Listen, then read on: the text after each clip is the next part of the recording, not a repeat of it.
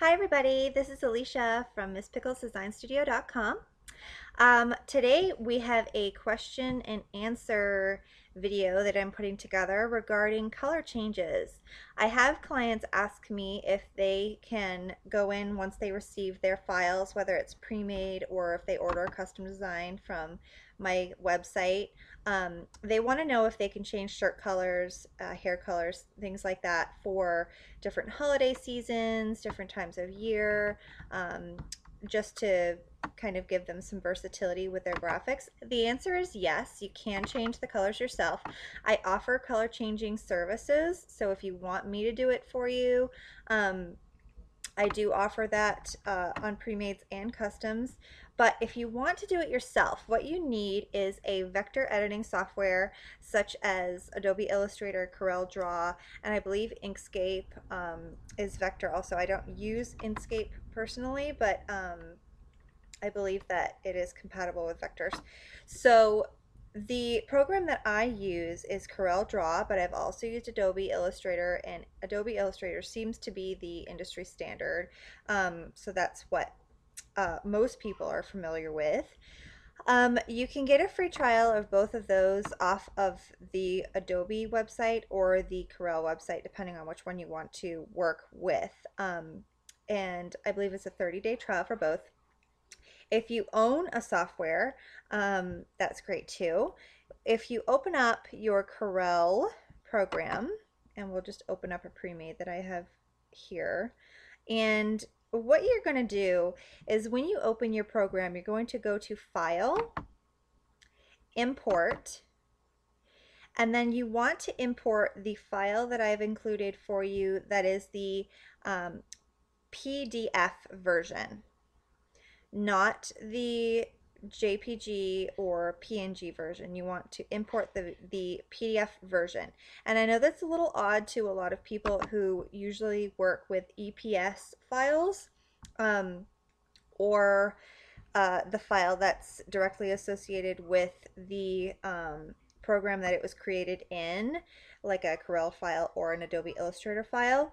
The reason why I don't include EPS is because since I create my designs in Corel Draw, um, I tend to use some of the more um, the more uh, advanced options for color fills and gradients and transparencies and those options that are available in Corel aren't supported in Adobe Illustrator. So if I were to give you an EPS that was exported from Corel for, and then you import it into Adobe, you may run into um, rasterizing uh, issues. So to put that in simple terms, if you see this right here, for example, there's a transparency effect that I've put on this little bag of frosting.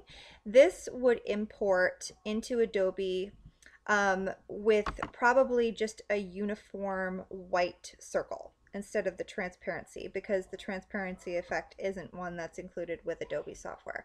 So what I have learned from my uh, trial and error and working with people who who work with Adobe Illustrator, the the way that I have found that has been true and um, always works the way it should is to export my files for, as a layered PDF file.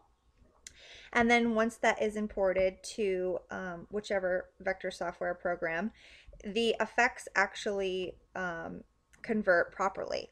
So that's why I include a layered PDF instead of an EPS or an exported version of a, an Adobe file, etc.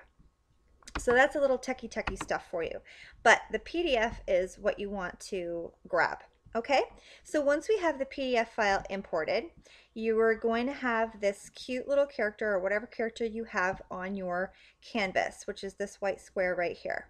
The thing that you need to do, if it's together like a group, um, like this is a group of images, the best thing that you can do if you're going to edit this is just make sure that your pick tool is selected and draw a big square around all of your images, all of your, your image, right click over it, click group, and then click ungroup all.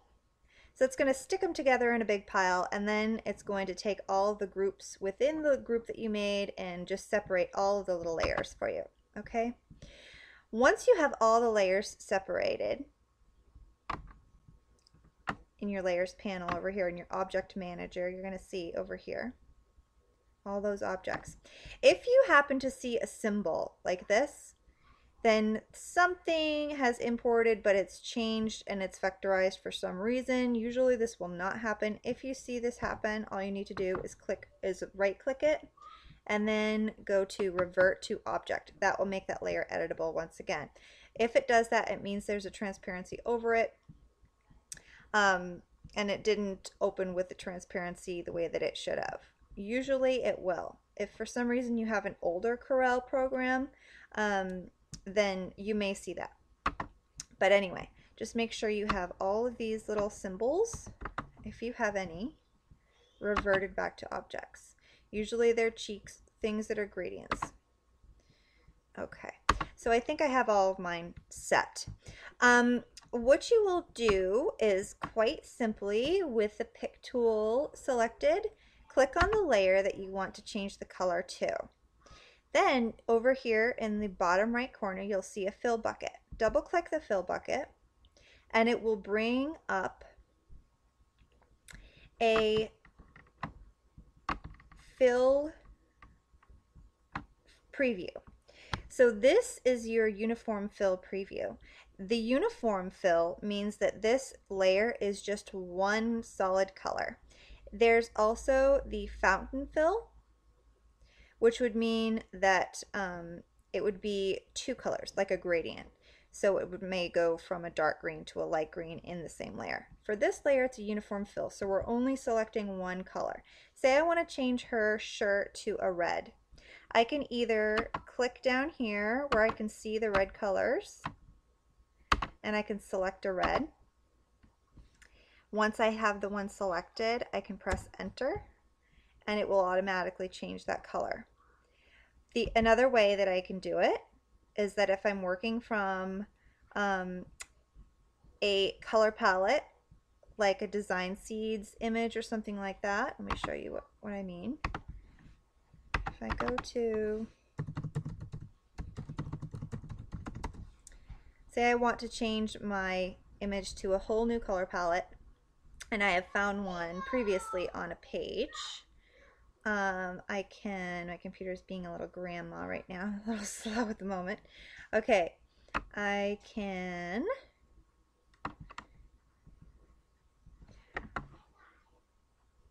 copy image.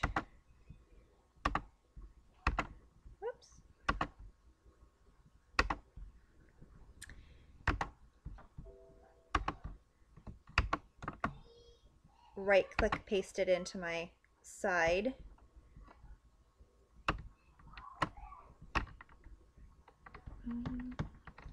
Okay, so now I have little the little um, palette that I'm working from, right? I can click the layer, double click the fill bucket, and then once I drag my mouse over to this, I can drag it out and it and it has a little eyedropper tool now. So dragging it out of that box, I can bring it over here and whatever one I hover over is the, the color I'm going to select. So once, uh, just click it once with your left and then you'll see that the color it's going to change it to shows up right here. Click OK and that is the exact hex code that you're taking from this palette image. So you could potentially change this whole image um, to coordinate with any palette that you wanted. All right and continue doing this. Oh, I wanted to show you also another one. Um, double click that. We're going to change the sleeve. Okay, I usually work in the models. I like to have all these options of clicking in different areas. Okay, um, a lot of people find the models overwhelming. So if you're just starting out, go ahead and go over to the palettes tab. The palettes tab um, has less colors for you to choose from, but um, there's still some good friendly colors here to use um, that will look nice. So you can just select whatever color you want and press OK. All right. So that is basically how to change all the colors in your design. Um, if you happen to have one that's a fountain fill, like for example, this is a little bit um, more advanced. This hair shape right here is a fountain fill. You'll see that this has changed from uniform to fountain. And it shows you the two colors that this gradient is made up of. A darker blonde and a lighter, more ashy blonde. Okay, so we're going to double click that. When you have the fountain fill show up, you'll notice that this is different. You'll no longer have your palettes that pop up automatically or your models pop up automatically. You'll have the two different colors that you can choose from. So if we were going to be making a brown, we'll say we're making her brunette, um, you could choose from these palettes right here to choose a brown. And right now we're going from darker to lighter. So make sure that you're paying attention to which one of this is darker. So we'll pick a darker brown and go for a lighter brown on top. Okay, that's a little bit harsh I, I wouldn't particularly use those colors. I would more likely go to something that was already in my palette, like say down here, um, this brown. And then what I would do is I would click the uh, eyedropper tool, select that brown right there, and remember that this was the lighter one. And then click this down button, go to other. And other brings up the models that I like to, to work from. And from here, I'm seeing that this is the dark brown that I've used, but I'm going to select a brown that's a little bit lighter.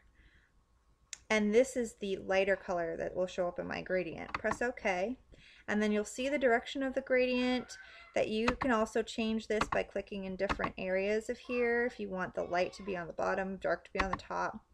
But this was how it was before. It was the light in the top right, dark in the bottom left and you can play around with these settings.